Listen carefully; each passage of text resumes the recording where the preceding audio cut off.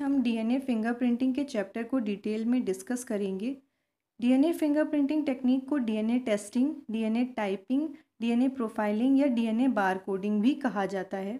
सबसे पहले इसकी डेफिनेशन जान लेते हैं।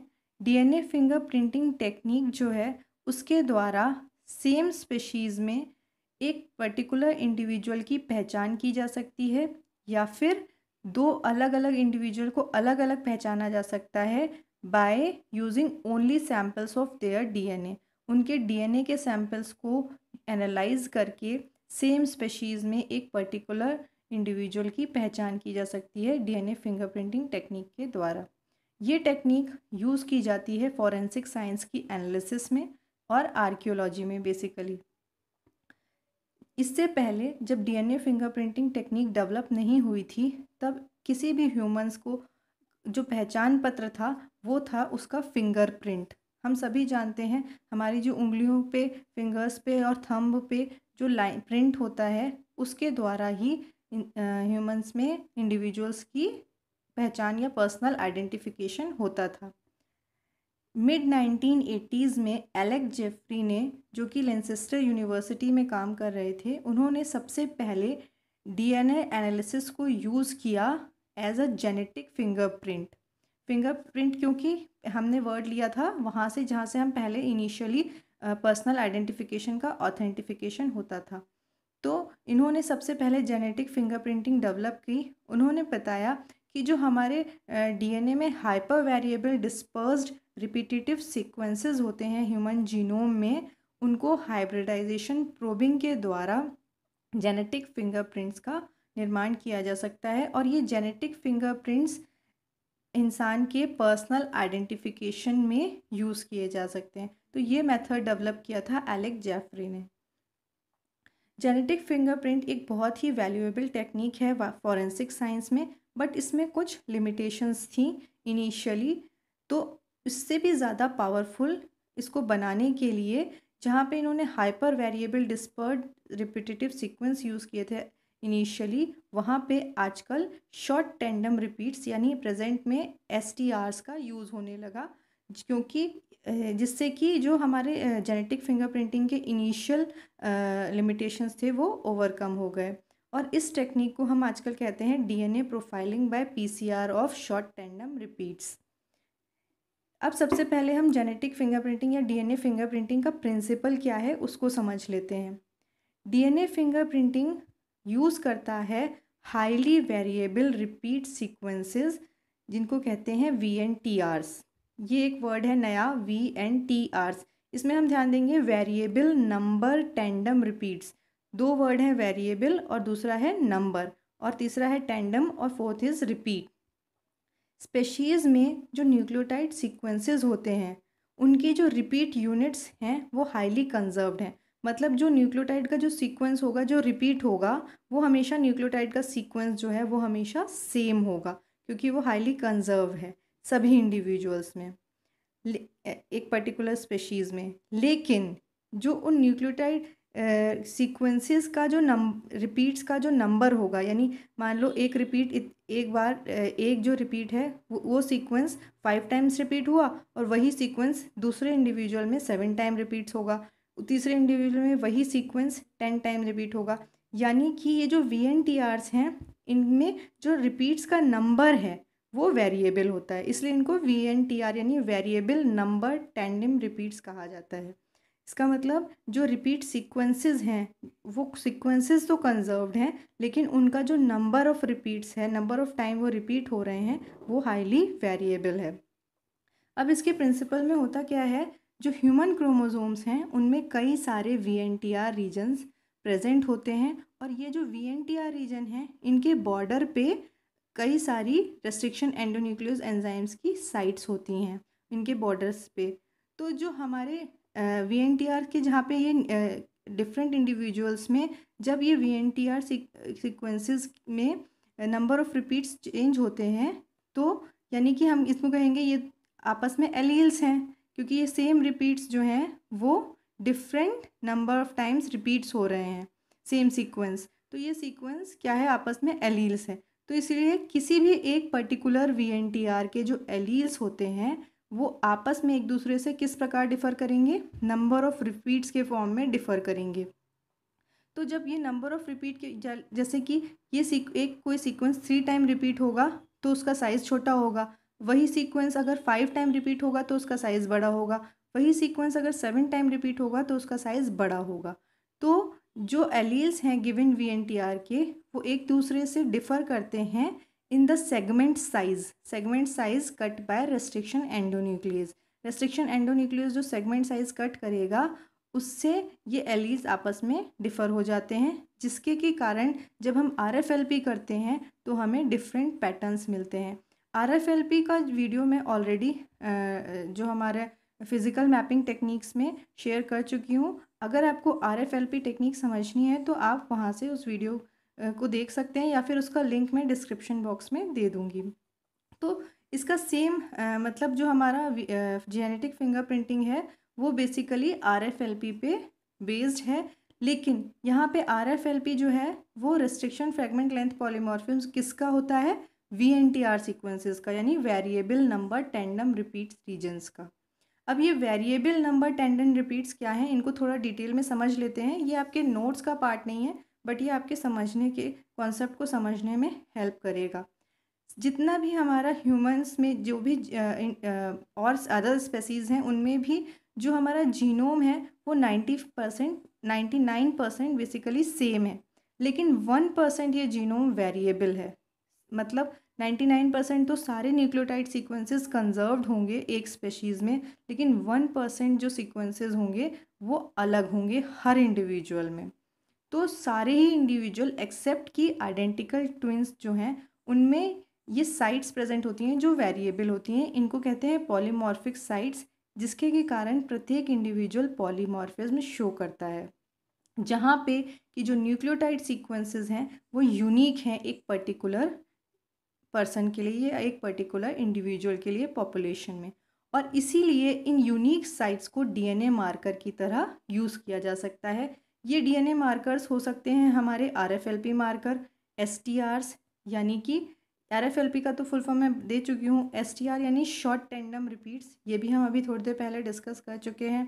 दूसरा, और लास्ट है एस यानी सिंगल न्यूक्लियोटाइड पॉलीमॉर्फिज्म ये ज़्यादातर जो हमारा जीनोम है, उसमें एस एन पीज़ प्रेजेंट होती हैं और इनको ज़्यादा स्टडी किया जाता है। बट जेनेटिक फिंगर फिंगरप्रिंटिंग या डीएनए फिंगरप्रिंटिंग में हम आरएफएलपी मार्कर्स को यूज़ करते हैं बट ये R F L P markers नहीं होते हैं, ये वी एन टी आर्स होते हैं। वी एन टी आर्स का basically size ten to hundred base pair repeats का होता है। वी एन टी आर यानी वेरिएबल नंबर टेंडम रिपीट्स इनमें micro satellite V N T Rs जिनको कि हम शॉर्ट टेंडम रिपीट्स भी कहते हैं और mini satellite V N T दोनों ही आ जाते हैं। मिनी सैटेलाइट वी एन अब जो mini satellite V N T हैं जनरली जो हमारा वी एन टी आर शब्द यूज़ होता है, वो mini satellite D N A repeats के लिए ही यूज़ होता है। ये रिपीटेटिव डी एन ए है, जिसमें कि टेन से सिक्सटी बेस पेयर का डी एन ए सिक्वेंस होता है। अब ये सिक्वेंस किसका बना होगा? न्यूक्लियोटाइड्स का ए टी जी सी जो हमारे बेसिस हैं। उनका एक सीक्वेंस होता है जो कि फाइव से फिफ्टी टाइम्स रिपीट होता है। दूसरा है हमारा एस टी आर यानी शॉर्ट टेंडम रिपीट्स ये वन से थर्टीन बेस पेयर के सीक्वेंसेस होते हैं पॉलीमॉर्फिक सीक्वेंसेस और ये कई बार रिपीट होते हैं टैंडम एरे में। इसको मैं समझने के लिए थोड़ा एक एग्जांपल देती हूँ, जैसे सी ए ये एक सीक्वेंस है जो कि जनरली यूज़ होता है डीएनए प्रोफाइलिंग में, और ये ह्यूमन जीनोम में प्रेजेंट होता है। इसमें यहाँ पे एन जो है, ये नंबर ऑफ़ टाइम्स ये सीक्वेंस रिपीट होगा, वो है फाइव टू ट्वेंटी टाइम्स ये एस टी आर जो है C A S T R ये जनरली हमारा डीएनए प्रोफाइलिंग में यूज़ होता है। लास्ट है माइक्रो सैटेलाइट ये भी वर्ड हमने अभी यूज़ किया है। माइक्रो सैटेलाइट बेसिकली एक से सिक्स या फिर उससे ज़्यादा बेस पेयर साइज़ के डीएनए सीक्वेंस या मोटिव्स होते हैं, जो कि फाइव से फिफ्टी टाइम्स रिपीट होते हैं। दोनों ही माइक्रो सैटेलाइट वी एन और mini satellite V N genome में थाउज़ेंड से ज़्यादा लोकेशंस पे प्रेजेंट होते हैं और इन लोकेशंस पे हाई म्यूटेशन रेट होता है और ये ज़्यादातर पॉपुलेशन में डाइवर्सिटी को शो करते हैं। तो ये हमारा प्रिंसिपल था डीएनए फिंगरप्रिंटिंग का। अब नेक्स्ट है हमारा टेक्निक क्या है डीएनए फिंगरप्रिंटिंग की। सबसे पहले सैंपल बायोलॉजिकल सैंपल जो उसमें यूज़ होता है डीएनए फिंगरप्रिंटिंग में उसमें बहुत ही small amount of sample use होता है। ये सैंपल ब्लड हो सकता है हेयर हो सकता है सलाइवा हो सकता है सिमन हो सकता है बॉडी के टिश्यू सेल्स हो सकते हैं, या फिर जहाँ क्राइम सीन पे ब्लड के स्पॉट्स प्रेजेंट हो सकते हैं, या फिर क्राइम सीन पे कन्वेंशनल फिंगरप्रिंट्स भी प्रेजेंट हो सकते हैं। मतलब ये वो सारे सैंपल्स जिनसे हमें स्मॉल अमाउंट ऑफ़ डीएनए मिल जाए, वो बायोलॉजिकल सैंपल्स इस टेक्निक में यूज़ होते हैं। अब इसके बाद हम समझेंगे जो हमारा हाइब्रिडाइजेशन प्रोबिंग या जो इनिशियली डीएनए फिंगरप्रिंटिंग था, उसका मेथड सबसे पहले इस मेथड में डीएनए को आइसोलेट किया जाता है। यहाँ पे हमने ब्लड सैंपल से दिखाया है। आप किसी हेयर या सलाइवा सैंपल का भी कर, दिखा सकते हैं। उसमें हमने ब्लड सबसे पहला स्टेप है isolation of DNA from samples isolation DNA isolation के बाद नेक्स्ट स्टेप है रेस्ट्रिक्शन डाइजेशन यानी digestion of DNA with restriction enzymes यहाँ पे डीएनए को कट किया जाता है सैंपल में ही रेस्ट्रिक्शन एंजाइम्स को ऐड ऐड किया जाता है, जिसके द्वारा पर्टिकुलर साइट पे वीएनटीआर साइट पे जो हमारी रेस्ट्रिक्शन एंजाइम्स हैं, वहाँ पे कट कर देती हैं डीएनए को। जनरली जब इनिशियली जेनेटिक फिंगरप्रिंटिंग यूज़ हुआ था तब हमारा सीक्वेंस जो, जहाँ पे हमारी ये रेस्ट्रिक्शन एंजाइम्स कट करती थी, जो हाइपर वेरिएबल रीजन था, वो था जी जी जी सी ए जी जी ए एन जी यहाँ पे एन जो न्यूक्लियोटाइड था, वो कुछ भी हो सकता है ए टी जी सी में। ज़्यादातर कॉमनली यूज़ रेस्ट्रिक्शन एंजाइम्स हैं हे थ्री हिन वन और ए एल यू वन तो जब रेस्ट्रिक्शन डाइजेशन हो जाता है हमारा हाइपर वेरिएबल रीजन में, उसके बाद नेक्स्ट स्टेप आता है इलेक्ट्रोफोरेटिक सेपरेशन यहाँ पे जो हमारा डीएनए सैंपल था उसको जो हमने रेस्ट्रिक्शन डाइजेशन के बाद जो डीएनए सैंपल था उसको एग्रोज जेल इलेक्ट्रोफोरेसिस के द्वारा सेपरेट किया। यहाँ पे जो डीएनए सेपरेट होगा वो साइज़ के बेसिस पर डीएनए सेपरेट हो जाएगा। सेपरेशन के डीएनए के सेपरेशन के बाद ये प्रोसेस आरएफएलपी में भी मैंने डिस्कस किया है। आप आ, उसके वीडियो में जाके भी इसको समझ सकते हैं। इसके बाद है नेक्स्ट स्टेप आता है सदर्न ब्लॉटिंग जब डीएनए सेपरेट हो गया तो अब ये तो जेल पे है। तो हम अब इस डीएनए को ट्रांसफ़र किया जाएगा नायलॉन शीट पे। तो इस जेल के ऊपर नायलॉन शीट को अच्छे से यूनिफॉर्मली रख दिया जाता है और इसको सोक किया जाता है बफर में ओवरनाइट सोक करने के बाद हमारा जो नायलॉन शीट है, उसके ऊपर हमारा जो बैंड का पैटर्न था आफ्टर सेपरेशन वो आ जाता है। इस शीट को अब क्या किया जाता है? जो हमारे जो हमारा हाइपर वेरिएबल जो हमने जो वीएनटीआर जिसको सेलेक्ट किया है फॉर डीएनए फिंगरप्रिंटिंग उस वी एन टी आर के हमारे कॉम्प्लीमेंट्री सीक्वेंसेस बनाए जाते हैं प्रिपेयर किए जाते हैं और उसको प्रिपेयर करते समय जो हमने न्यूक्लियोटाइड यूज़ किए होते हैं, वो होते हैं रेडियो एक्टिव या फ्लोरोसेंट लेबल्ड तो जो हम, क्योंकि हमने ये फ्लोरोसेंट लेवल न्यूक्लियोटाइड यूज़ किए हैं, कोई भी एक न्यूक्लियोटाइड हम उसमें फ्लोरोसेंट लेवल का यूज़ कर सकते हैं। तो इस तो जो हमारे कॉम्प्लीमेंट्री सीक्वेंसेस होंगे ना, वो वी एन टी आर्स के, उनको हम कहेंगे फ्लोरोसेंट प्रोब्स। क्योंकि ये कॉम्प्लीमेंट्री हैं उन वी एन टी आर के, और ये हमने बनाए हैं। जैसे क्योंकि अभी हमें पता है स्टार्टिंग में हमें, हमने बताया कि कौन सा हम V N T R use करते हैं इस थेस में डी एन ए फिंगरप्रिंटिंग में इनिशियली तो वो हमने डिज़ाइन किए और हमने उनको फ्लोरोसेंट लेबल कर दिया।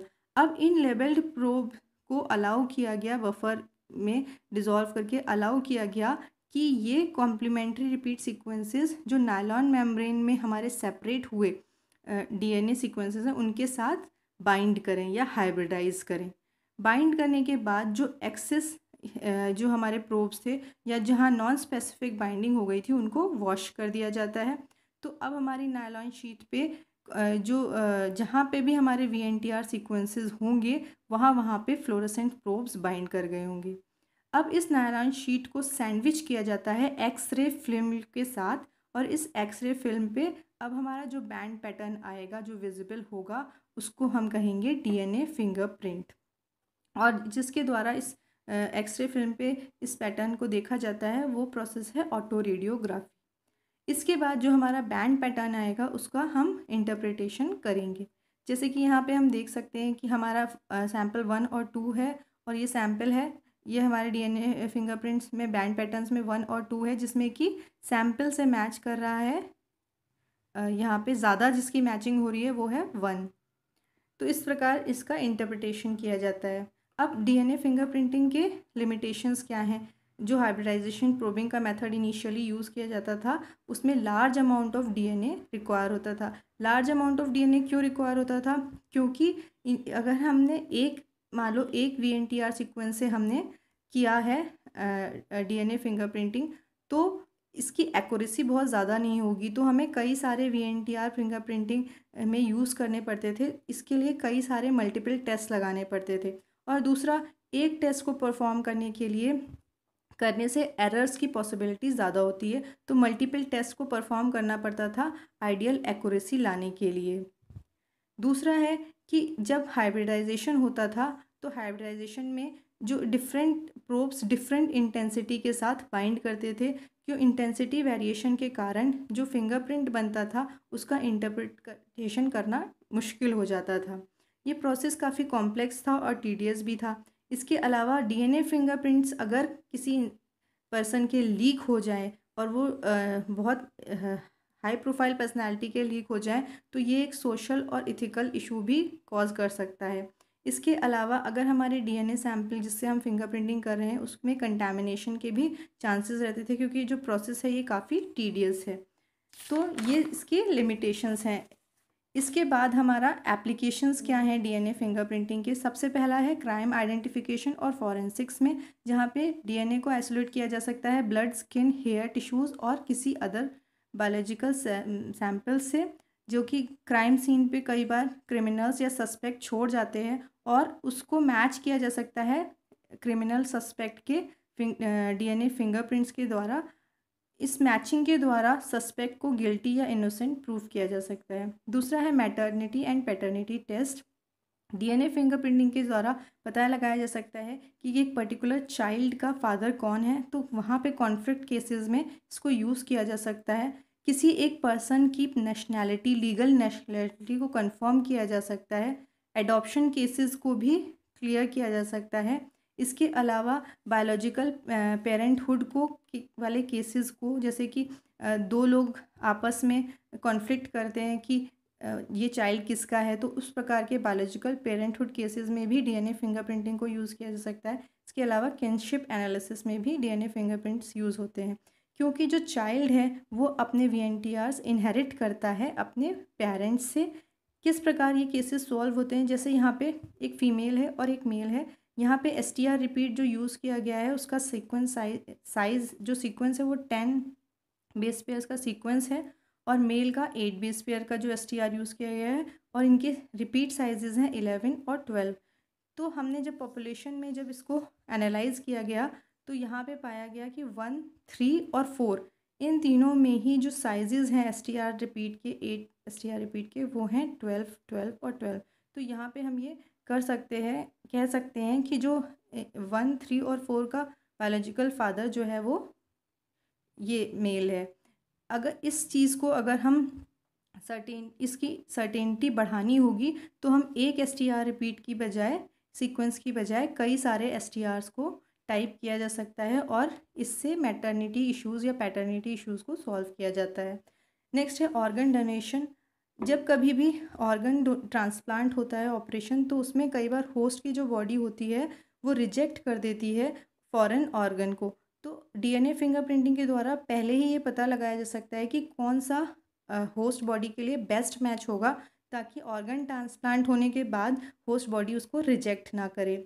इसके अलावा किसी पर्सन के एंसिस्टर्स को भी ट्रेस किया जा सकता है डीएनए फिंगरप्रिंटिंग के द्वारा और फैमिली ट्री को बनाया जा सकता है। ये इवोल्यूशनरी बायोलॉजी में ये टेक्निक बहुत ज़्यादा यूज़ होती है। इसके अलावा कई नेचुरल डिज़ास्टर्स हो जाते हैं तो वहाँ पे विक्टिम्स को आइडेंटिफाई किया जा सकता है डीएनए फिंगरप्रिंटिंग टेक्निक के द्वारा। इसके अलावा कई सारे इनहेरिटेड डिसऑर्डर्स होते हैं चिल्ड्रंस में या फिर अनबॉर्न बेबीज़ में या फिर एडल्ट में भी, जैसे cystic fibrosis haemophilia Huntington's disease sickle cell anaemia तो इन इनहेरिटेड डिसऑर्डर्स को डायग्नोस किया जा सकता है डीएनए फिंगरप्रिंटिंग के द्वारा। इसका एक एग्ज़ाम्पल है कि अब्राहम लिंकन जो है, उसकी डेथ के बाद ये एनालाइज किया गया डीएनए फिंगरप्रिंटिंग के द्वारा कि उसमें मार्फन सिंड्रोम उस उस अब्राहम लिंकन में था, जो कि एक जेनेटिक डिसऑर्डर है। इसके अलावा जो बैंडिंग पैटर्न्स आते हैं डीएनए फिंगरप्रिंटिंग के द्वारा, उनको रिलेट किया जा सकता है डिज़ीज़ के जो हमारी इनहेरिटेड डिज़ीज़ हैं, उनसे रिलेट किया जा सकता है और इनहेरिटेड डिसऑर्डर के लिए क्योर्स भी डेवलप किए जा सकते हैं थ्रू आइडेंटिफिकेशन डीएनए फिंगरप्रिंटिंग ये सेम ही है फोर जो हमने बताया था, उसके द्वारा फैमिली ट्री को बनाया जा सकता है और एंसेस्टर्स को ट्रेस किया जा सकता है। इसके अलावा जो फॉसल एक्सट्रैक्ट्स होते हैं उनको कंपेयर किया जा सकता है मॉडर्न डे काउंटर पार्ट से। इसमें जो डीएनए फिंगरप्रिंटिंग है, वो एवोल्यूशनरी बायोलॉजी में यूज़ हो सकता है। इसके अलावा जो कई सारे प्लांट्स हैं या फिर जेनेटिकली मॉडिफाइड फ़ूड हैं, उनको टेस्ट किया जा सकता है। डीएनए फिंगरप्रिंटिंग के द्वारा टेस्ट किया जाता है ही। और इसके अलावा पैथोजेंस को, जो फ़ूड सोर्सेज में पैथोजेंस प्रेजेंट हैं, उनको भी डीएनए फिंगरप्रिंटिंग के द्वारा टेस्ट किया जाता है। जो हमारी एंडेंजर्ड स्पेशीज़ हैं उनकी जेनेटिक वेरिएबिलिटी को भी डीएनए फिंगरप्रिंटिंग के द्वारा स्टडी किया जाता है कंजर्वेशनल बायोलॉजी में। तो ये हमारे एप्लीकेशंस थे डीएनए फिंगरप्रिंटिंग के। इसके बाद हम जानेंगे कि अभी तो हमने लिमिटेशंस पढ़े थे। डीएनए फिंगरप्रिंटिंग के क्या लिमिटेशंस हैं? इसके बाद क्या बेनिफिट्स हैं? सबसे पहले तो ये ईजी और पेनलेस है। जो भी सब्जेक्ट इसमें टेस्ट किया जाता है, उसको कोई पेन नहीं होता है और ये ईजी है। इसके अलावा ये रिलायबल है और अफोर्डेबल है। और ये काफ़ी शॉर्ट अमाउंट ऑफ़ टाइम में किया जा सकता है और इसमें कोई भी एज का व्यक्ति टेस्ट किया जा सकता है, चाहे वो चाइल्ड हो, चाहे वो ओल्ड पर्सन हो, या फिर डिज़ीज़ पर्सन हो, क्योंकि ये पेनलेस है और इजी है। इसमें ला, इसके कई सारे यूजेस हम ऑलरेडी अभी एप्लीकेशंस में डिस्कस कर चुके हैं। टाइम के साथ साथ ये टेक्निक काफ़ी डेवलप और इम्प्रूव हो गई है तो इसलिए ये काफ़ी रिलायबल और अफोर्डेबल टेक्निक है। डेवलपमेंट में हम देखेंगे कि आज, अब प्रेजेंट सिनेरियो में जो डीएनए प्रोफाइलिंग है, वो by use of PCR and short tandem repeats के यूज़ के द्वारा होती है। इनिशियली हमने पढ़ा था कि हाइपर वेरिएबल सीक्वेंस था जी जी जी सी ए जी जी ए एन जी इस सीक्वेंस को ही यूज़ किया जाता था डीएनए फिंगरप्रिंटिंग में। आज प्रेजेंट सिनारियो में पीसीआर के यूज़ के कारण जो डीएनए प्रोफाइलिंग है, वो बहुत ही सेंसिटिव यानी एक्यूरेट हो गई है और जो रिज़ल्ट हैं, वो ट्रेस अमाउंट ऑफ़ डीएनए से भी बहुत एक्यूरेट रिजल्ट्स आ जाते हैं। ट्रेस अमाउंट मतलब बहुत ही कम अमाउंट ऑफ़ डीएनए की सैंपल की रिक्वायरमेंट होती है और रिजल्ट्स काफ़ी एक्यूरेट होते हैं और अनएम्बिगुअस होते हैं और वो कम टाइम में भी मिल जाते हैं।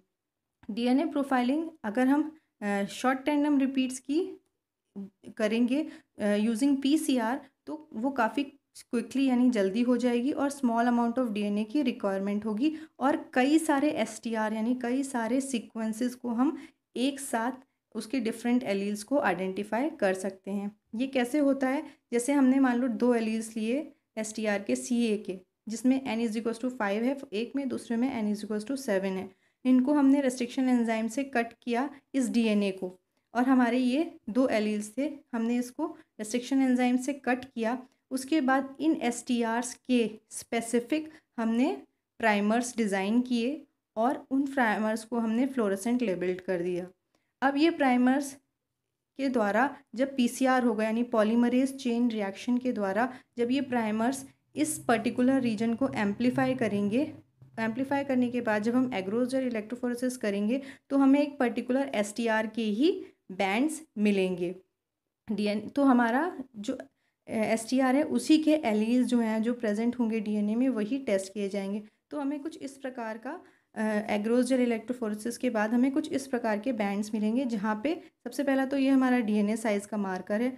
दूसरा हमारे दो इंडिविजुअल अलग अलग इंडिविजुअल हैं, जिनमें कि वही एस टी आर जिसमें एक में फाइव प्रेजेंट है तो फाइव क्योंकि नंबर ऑफ़ रिपीट्स कम है तो उसका साइज़ कम होगा। दूसरा सेवन तो दूसरा इंडिविजुअल है जिसमें एन इज़ टू सेवन है तो उसका साइज़ बिगर है। इसके अलावा जो फोर्थ हम ये शो कर रहे हैं, ये मल्टीप्लेक्स पीसीआर के द्वारा हम क्या कर सकते हैं? हम एक साथ कई सारे एस एक, अभी तो हमने एक ही S T R C A use किया, कई सारे S T Rs with different number of repeats को हम एक साथ उनका पी सी आर करके उनको टेस्ट कर सकते हैं। या एग्रोजल इलेक्ट्रोफोर्सिस के द्वारा उनके बैंड्स ऑप्टेन कर सकते हैं। तो ये प्रोसेस काफ़ी क्विक और इजी हो जाता है और इसमें रिजल्ट्स भी एक्यूरेट मिलते हैं क्योंकि हमारा जो डीएनए है वो पर्टिकुलर एसटीआर ही एम्पलीफाई कर रहा है। आजकल प्रेजेंट सिनेरियो में जो करंट मेथड डीएनए फिंगरप्रिंटिंग के लिए यूज़ होता है वो है C O D I S यानी कंबाइंड डीएनए इंडेक्स सिस्टम ये सिस्टम यूज़ करता है एक साथ ट्वेल्व एस को। यानी बारह सीक्वेंसेस को एक साथ ये एनालाइज करता है उसके डिफरेंट एलील्स को, यानी डिफरेंट वी को, क्योंकि ये बारह एस को एक साथ एनालाइज करता है तो इसका मतलब ये बारह एसटीआर से रिज़ल्ट जो है वो काफ़ी ज़्यादा एक्यूरेट होगा। क्योंकि अगर हम एक एसटीआर को एनालाइज करेंगे तो पॉसिबिलिटी है कि वही एसटीआर के ज़्यादा वेरिएशंस अवेलेबल ना हो, बाकी दूसरे एस में वो वेरिएबल हो पॉपुलेशन में। तो अगर हम ट्वेल्व एस को एक साथ एनालाइज करते हैं थ्रू दिस मेथड तो this method becomes more accurate तो यहाँ पे हमारा चैप्टर एंड होता है डीएनए फिंगरप्रिंटिंग का। अब नेक्स्ट वीडियो में हम reverse transcription and its applications को डिटेल में डिस्कस करेंगे। आज की वीडियो में अगर कुछ क्वेश्चंस या क्वेरीज़ हैं तो आप कमेंट सेक्शन में मेंशन कर सकते हैं। और जैसा कि मैं हमेशा कहती हूँ कि आपको अगर मेरे वीडियोस पसंद आ रहे हैं तो इनको लाइक करिए। शेयर करिए और सब्सक्राइब करिए मेरे चैनल को, जिसका नाम है biotechnology lessons by doctor Shifali Mathur